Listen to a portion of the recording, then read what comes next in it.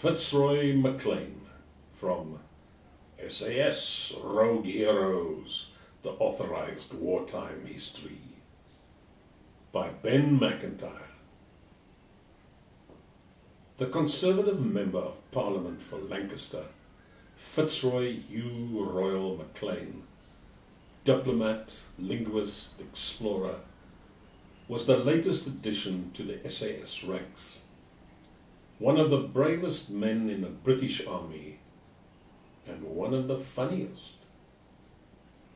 Like Stirling, he was the scion of an ancient and warlike Scottish clan. Unlike Stirling, he was an intellectual and a scholar, fluent in Italian, Russian, and German, as well as Greek and Latin.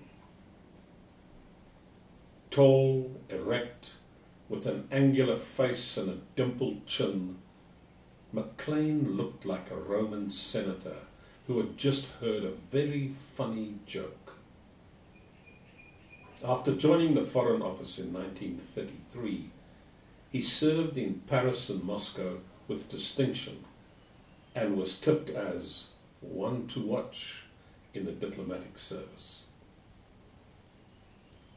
He was determined to join the armed forces and go to war, but under wartime rules, the diplomatic service was classed as a reserved occupation, which meant that, to his intense frustration, he was forbidden to leave his official post on the Russia desk. Having tried and failed to persuade the Foreign Office to let him go, MacLean hit on a solution that appealed to his finely honed sense of the ridiculous. The fine print of Foreign Office regulations stated that officials must resign if elected to Parliament. To his own astonishment and the fury of his superiors, MacLean managed to win a by election in Lancaster in October 1941 after one of the shortest political campaigns on record. He immediately quit the diplomatic service, enlisted with the Cameron Highlanders as a private, and was deployed to North Africa. One night in Cairo, late in 1941, at a dinner party, MacLean fell into conversation with a tall, dark, strongly built young man with a manner that was unusually vague, but sometimes extremely alert. Why not join the SAS? said David Stirling, who had briefly met Fitzroy MacLean before the war. What is it? asked MacLean.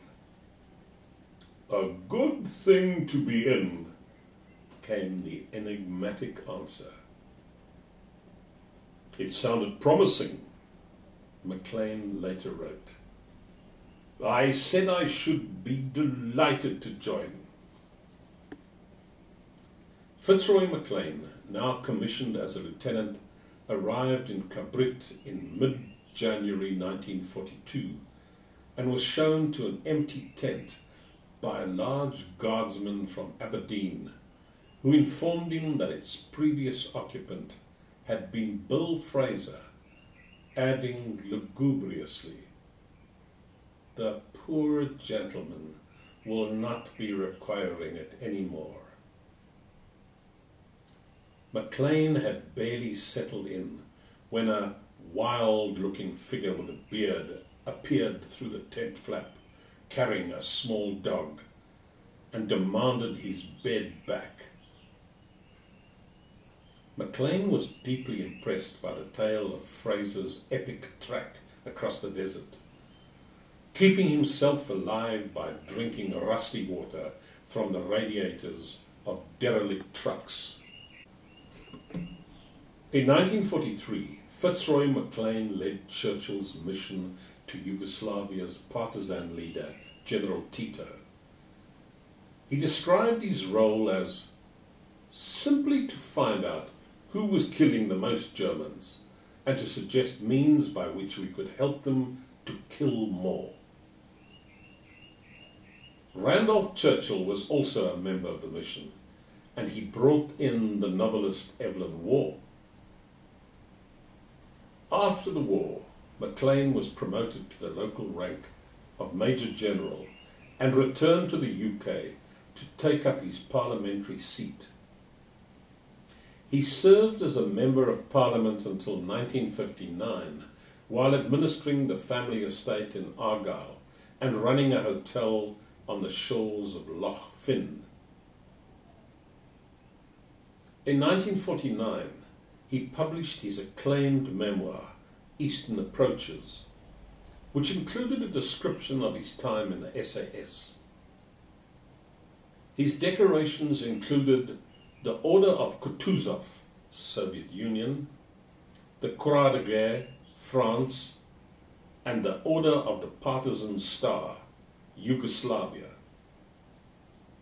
He was also appointed the commander of the Order of the British Empire, CBE, in 1944, honoured with the baronetcy of Maclean of Strachur and Glensluain, and made a knight of the most ancient and most noble order of the Thistle.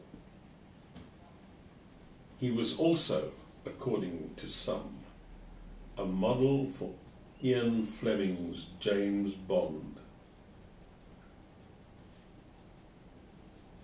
Postscript In 1989, Stirling wrote an address to be delivered to the SAS Sergeant's Mess that seemed to capture the essence of the regimental ethos. Let me remind you that you must never think of yourselves as an elite.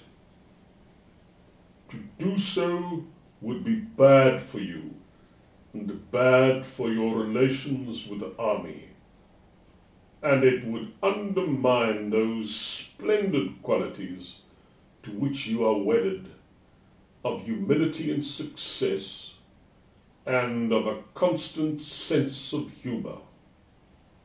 No, you are not an elite force. You are something more distinguished. Something of which you can be far more proud.